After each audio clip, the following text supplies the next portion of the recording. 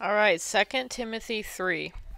But mark this there will be terrible times in the last days. People will be lovers of themselves, lovers of money, boastful, proud, abusive, disobedient to their parents, ungrateful, unholy, without love, unforgiving, slanderous, without self control, brutal, not lovers of the good, treacherous rash, conceited, lovers of pleasure rather than lovers of God, having a form of godliness, but denying its power. Have nothing to do with such people. Okay?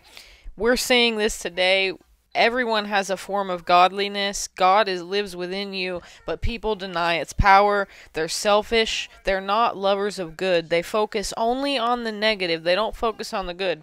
Treacherous, unforgiving, no love in their hearts, no self-control. They, you know, they'll just eat anything.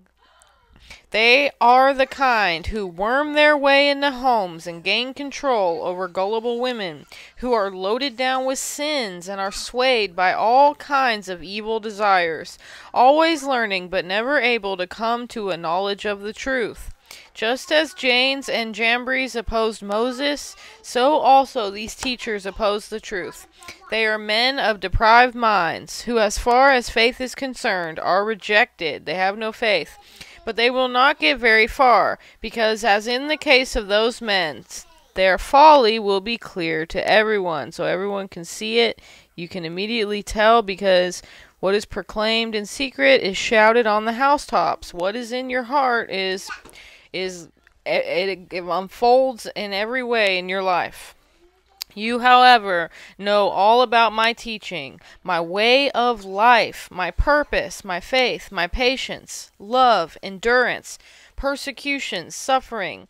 What kinds of things happened to me in Antioch, Iconium, and Lystra?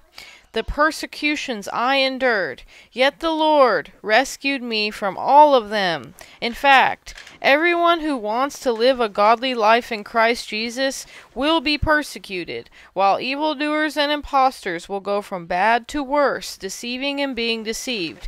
But as for you, continue in what you have learned and have become convinced of, because you know those from whom you learned it, and how from infancy you have known the Holy Scriptures, which are able to make you wise for salvation through faith in Christ Jesus.